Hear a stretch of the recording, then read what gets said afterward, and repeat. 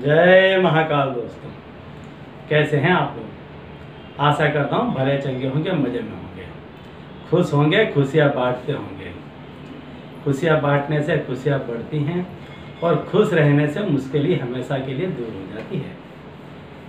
दोस्तों, जीवन में ऐसा अनेकों बार हो जाता है कि जब बहुत ज़्यादा प्रयत्न करने के बावजूद भी हम परेशानी से निपट नहीं पाते हैं, उसका छुटकारा नहीं पा सकते हैं। ऐसे समय पर हमको ज़रूरत पड़ती है किसी ऐसी शक्ति की, ऐसी पारलौकिक शक्ति की, कि जो आपकी मदद करे, जो आपको उस संकट में से निकाले। आप जिस दुविधा में फंस गए हैं, जिस गहरी खाई में आप पड़े हैं, दलदल में दब गए हैं, वहाँ से अब आपकी ताकत नहीं है निकलने की।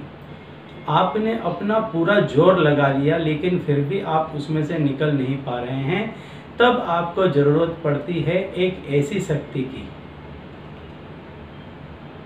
आपने कई दफ़े पढ़ा होगा, अखबारों में, चैनल में, टीवी में आपने देखा होगा कि कोई व्यक्ति किसी गाड़ी में बैठा था, उसका भयंकर एक्सीडेंट हुआ और वो व्यक्ति जरा से के लिए बच गया। कई दफ़े लोगों ने अपने ऐसे अनुभव बताए हैं कि कहीं वो गिर रहे थे, कहीं एक्सीडेंट हो रहा था, कुछ ऐसी घटना घट रही थी जिसमें उनका मरना निश्चित था, उनकी जान जाना तय थी। तभी कोई एक शक्ति ने अचानक आकर उनको हटा दिया वहाँ से। ऐसी कई घटनाएँ बनती हैं कि जो व्यक्ति को एकदम लास्ट मोमेंट पर निकाल कर ले जाती है। ये तो काफ़ी बड़ी घटनाएँ हैं, लेकिन आपको ऐसी ही एक चमत्कार की ज़रूरत होती है कि काश कहीं से एक चमत्कार हो जाए, काश कहीं से एक चमत्कार हो जाए कि आप जिस जगह फंसे हैं वहाँ से निकल जाएँ।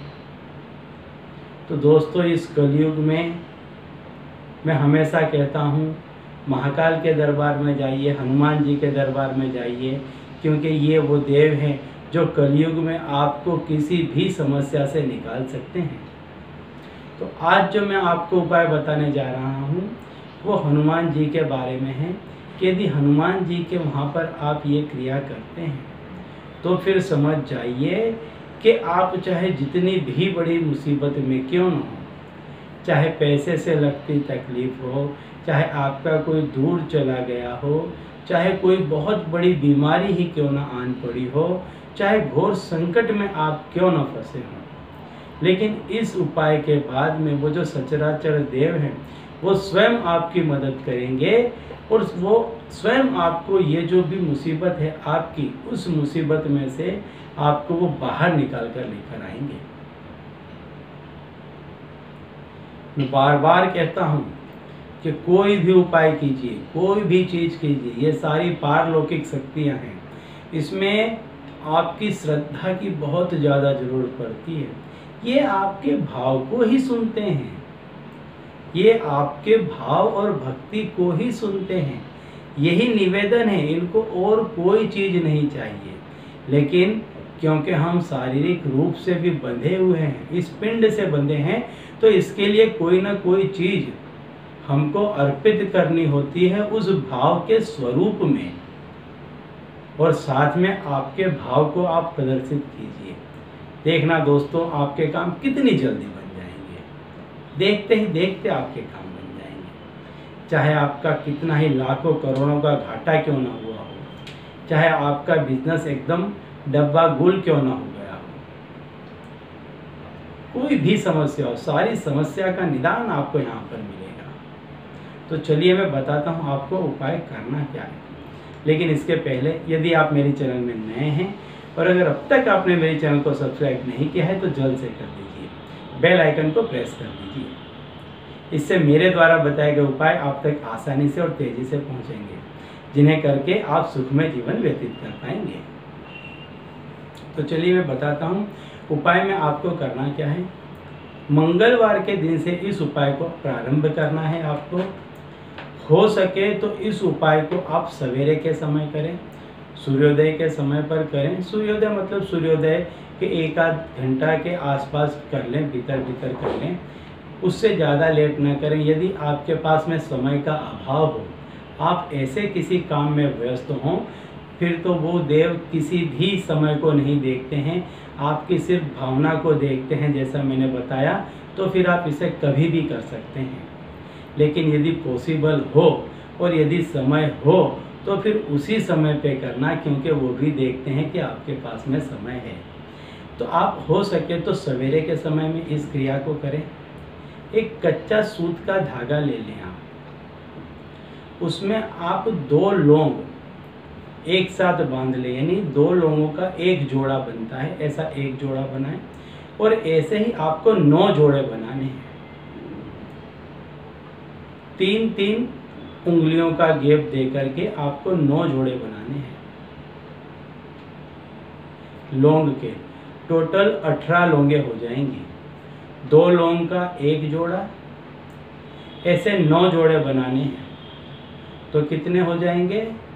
नौ को यदि दो से गुणा कर देंगे तो अठारह लोंगे हो जाएँगे आपके जोड़े। टोटल आपको नौ बनाने के हैं। अब आप हनुमान जी के मंदिर में चले जाएँ। जो भी आपके नज़दीक में हनुमान जी का मंदिर है, वहाँ पर आप चले जाएँ। और हनुमान जी को संपूर्ण प्रेम और निष्ठा के साथ ये जो लौंग की माला है, ये पहना दें। इसके बाद में आप उनसे कहें, मैं जो कहता हूँ, वो आपको कहना है।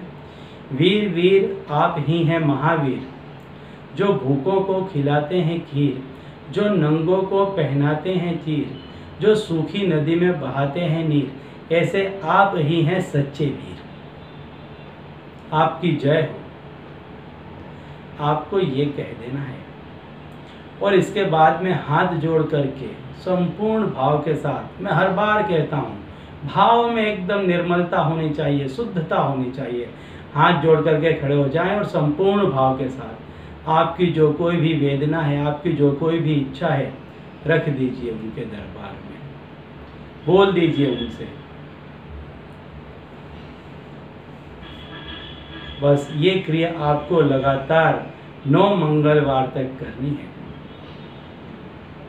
और फिर आप देखेंगे जिन लोगों ने भी की है, ज़्यादा से ज़्यादा लोगों की समस्या नौ मंगलवार के भीतर भीतर।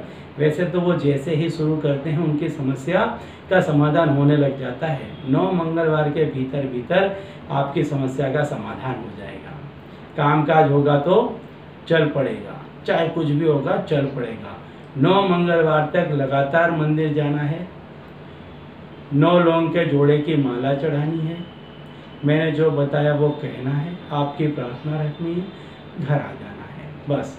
और अपने कामकाज में लग जाइए, आपका काम उन पर छोड़ दीजिए, वो कर देंगे, जो कोई भी आपकी परेशानी है, वो निपटा देंगे।